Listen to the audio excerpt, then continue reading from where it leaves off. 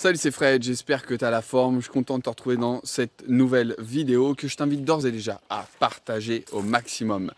Merci infiniment. Euh, si tu aimes bien les cadeaux, aussi, parce que j'ai des cadeaux pour toi, donc euh, si tu aimes bien les cadeaux, bah écoute, je t'invite tout simplement à euh, t'inscrire à ma newsletter, dont tu trouveras le lien dans la description justement qui se trouve ci-dessous ou ci-dessus, Ça dépend de la plateforme en fait sur laquelle tu me regardes.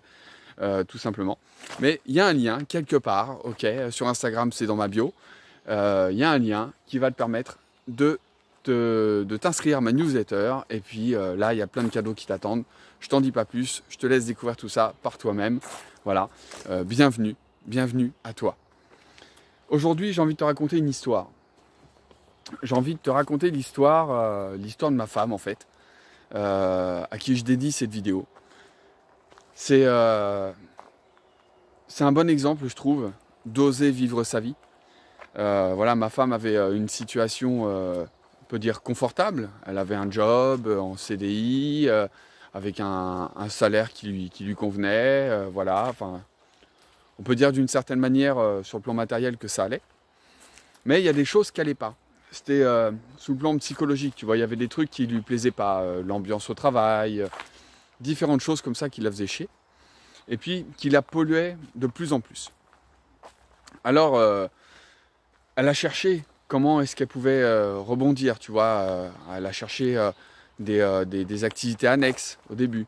Et puis, de réflexion en réflexion, en fait, elle en avait toujours de plus en plus marre, en fait, d'aller sur ce lieu de travail, qui lui convenait matériellement, mais pas psychologiquement. Et puis, jusqu'au jour où est-ce que elle s'est dit, euh, bah, je vais me lancer dans ma propre activité. Et puis euh, après réflexion, elle a trouvé le truc qui la faisait kiffer, d'accord. Et, euh, et, puis bah, un jour, voilà, elle a osé poser sa démission.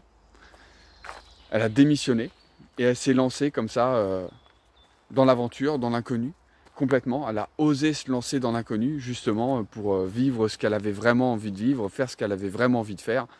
Euh, qui est euh, ouvrir une épicerie fine, proposer des produits locaux et euh, d'excellente qualité.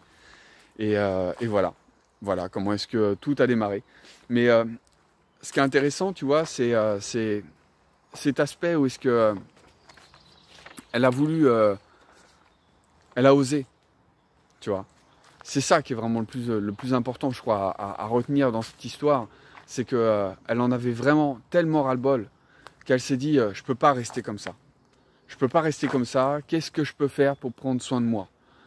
Parce qu'en restant comme elle était, elle prenait pas soin d'elle. Elle était pas bien. Donc elle s'est dit comment est-ce que je peux me sortir de ce truc-là et prendre soin de moi et être bien, être heureuse, euh, faire un truc que j'aime, que je kiffe? Comment est-ce que je peux faire?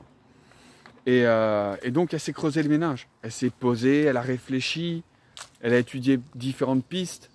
Elle a pris le temps d'étudier différentes pistes jusqu'à trouver le truc qui la faisait vraiment vibrer. Et là, elle a pris le temps justement de creuser là-dedans. Ok? Elle s'est dit d'accord, je vais faire une épicerie, ça, ça me plaît bien et tout, ça me parle bien. Du coup, elle a pris le temps de construire son truc.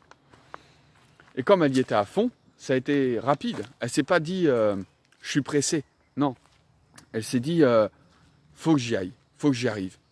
Donc euh, elle a pris le temps, elle a creusé comme ça, elle a mis euh, tout ce qu'il fallait euh, en place pour justement euh, bah, se lancer comme ça dans son activité. Et forcément, c'est l'inconnu. Donc oui, ça fait peur. Voilà, surtout qu'elle n'avait pas grand-chose comme thune de côté. Ça a été difficile au début. Hein. Pendant la première année, ça a été, ça a été un peu compliqué. Mais elle s'est accrochée encore et encore. Et là, récemment, elle a fêté les deux ans de son activité, qui une activité qui est en pleine croissance. Euh, et, c'est fantastique, c'est fantastique. Oser vivre sa vie, oser vivre sa vie. Et l'expérience, tu vois, de se lancer comme ça dans l'inconnu, de, euh, d'oser comme ça y aller, ça a été un tel enrichissement pour elle qu'aujourd'hui, euh, c'est, une autre femme en fait. Elle a gagné en assurance, elle a gagné en confiance, elle se sent beaucoup mieux, tu vois, dans sa peau. Euh, c'est le jour et la nuit, j'ai envie de dire. Voilà. Entre avant, où est-ce qu'elle subissait, et aujourd'hui, où est-ce qu'elle vit, tout simplement. Voilà. Donc je voulais te partager cette histoire, Peut-être que ça peut t'inspirer, peut-être que ça peut te rassurer, peut-être que tu te trouves dans ce genre de situation où est-ce que tu te dis euh, euh, je j'ose pas, euh, je sens que je devrais y aller, etc. Mais j'ose pas. Ose, ose. Prends le temps, prends le temps de poser les choses. Qu'est-ce que tu veux vraiment? Qu'est-ce que qu'est-ce qui te fait vibrer? Prends le temps et focalise-toi sur cet objectif, sur le résultat que tu veux obtenir.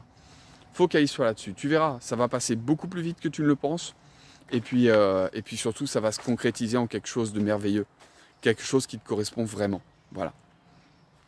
Bon, sur ce, j'ai fini pour aujourd'hui. Je te laisse, comme d'habitude, ose vivre ta vie. J'espère que cette vidéo t'a inspiré quelque chose. Dis-le moi en commentaire. Et puis on se retrouve euh, bientôt pour la suite de l'aventure. Prends soin de toi. Ciao, ciao.